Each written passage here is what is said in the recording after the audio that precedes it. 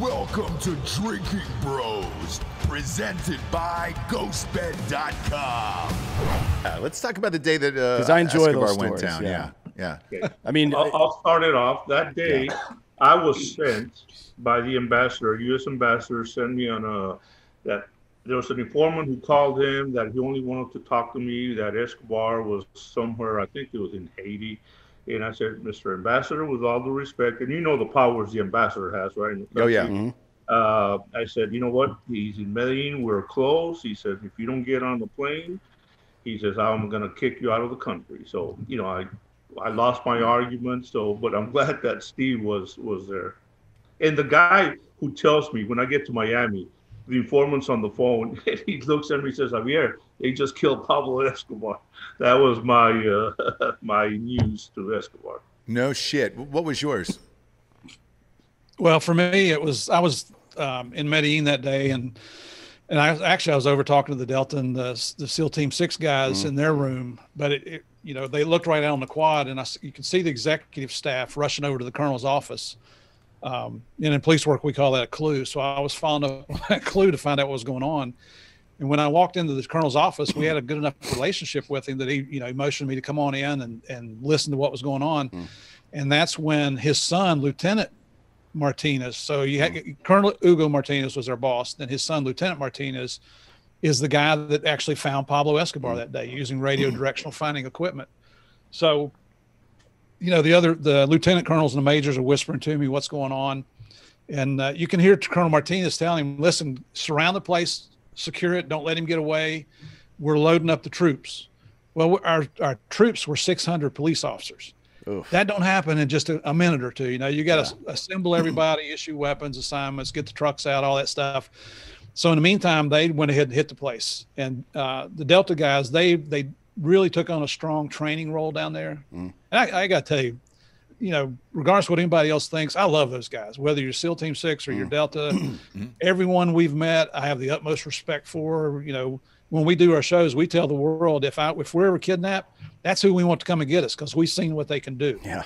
I mean, they are that good. So yeah, there's somewhere around our office we have a Bin Laden uh, target, pistol target with Rob O'Neill's signature on it, the guy that killed Bin Laden. wow. So we're Yeah. a big Oh, fan cool. of we're a big fan of Dev Gru and and everybody else. But you're right. If you see tier one operators getting spun up, it's probably a good idea to pay attention because some shit. oh man, that they don't really get spun up for no reason. in our book, they're the studs of the world. So anyway, um, you know, it went down, and the next thing you hear is uh, a major that's leading the operation comes up on the radio and he says, "Hey, Viva Colombia! Pablo Escobar's dead." Now, if you watch the Narco series, it shows that I was on the riff when he was killed. That's not true. I was back at the base. I rode out with Colonel Martinez after the fact. So, the I guess the cool thing about it was, well, there's a couple of things. One is the Colombian National Police deserve all the credit because they took their country back from that piece of crap, right? Uh, the gringos, as much as we participated, they deserve the lion's share of the credit, and we're glad that it happened that way. Um, the second thing is, I used to carry a camera everywhere I went. When we're on, if we're out on mountain operations, flying around in helicopters, whatever it might be, I always had a camera. So we were able to capture the photographs that day, which is what we use in our shows now. You know, when we're on the road, and because we took the pictures, they're ours. because it's ownership. You know, we don't have to get anybody's permission. Um, which is a big deal these days. Yeah, Shit. you own the rights to those pictures. uh, sorry. You own the rights to those pictures.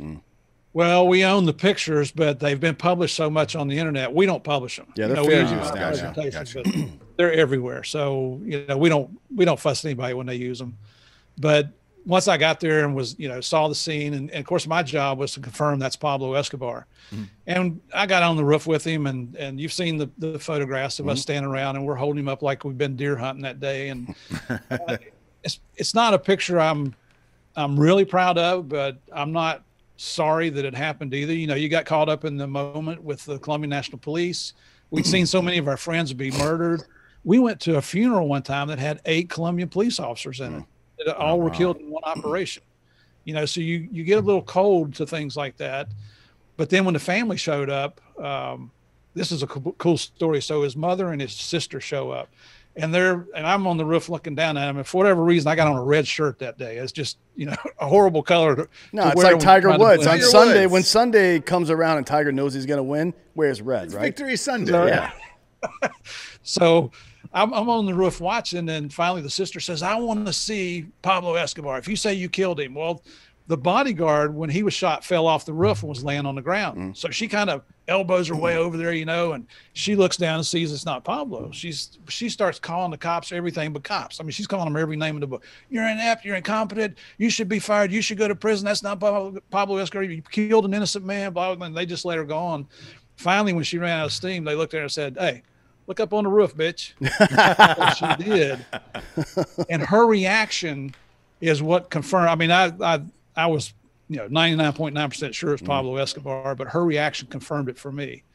But then after that happened, I one of the lieutenant colonels I got with him, and and they took me back to the base because we just didn't want the focus to fall on the United States. We wanted the focus to stay on the Colombian National Police because of what they did. I mean, they suffered so many losses.